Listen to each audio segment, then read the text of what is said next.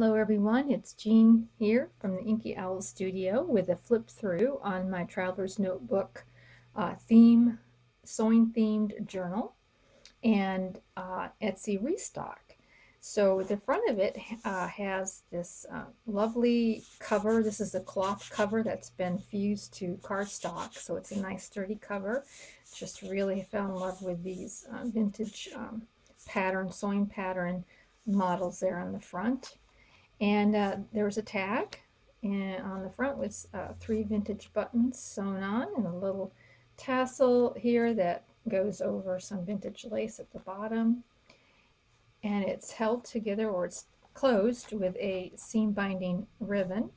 And it's underneath this tag and it can be slipped out if you don't care for the closing or you want to put in your own. Um, so that can be removed.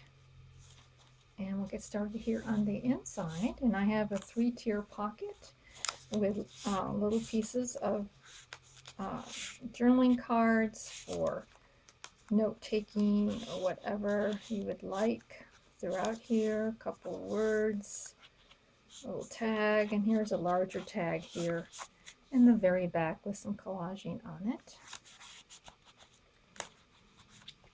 And a little bit of um, collaging on the bottom.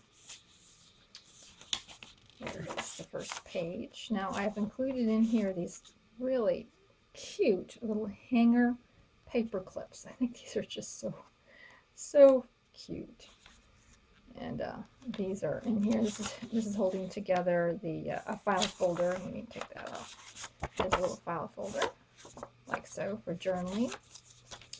And here is uh, a vintage sewing book page, some tea stain paper, a journaling card underneath this belly band with a pocket that you can use to store your memorabilia if you would like.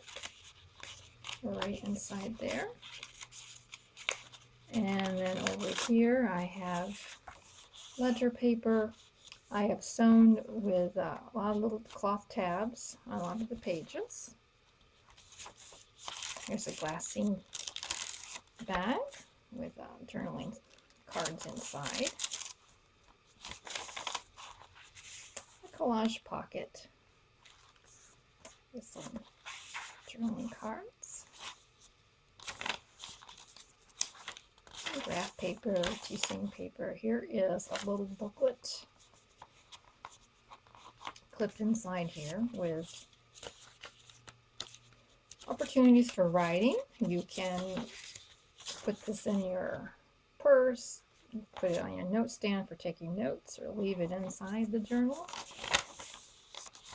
Plenty of room for writing. Another pocket with a large tag. It's um, been sewn around. A lot of these larger tags I have sewn around them. Here is another large tag in the middle, clipped in with one of those hanger paper clips.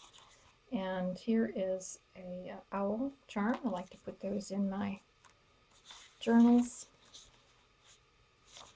And another pocket cute as a button. I like this little collage. It has these little, this little paper doll girl in there. Another belly band with an envelope.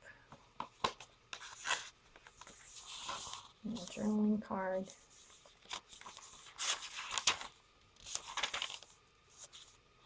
Another booklet. I won't take it out, but it's like the last one the other glassine, part of that glassine bag.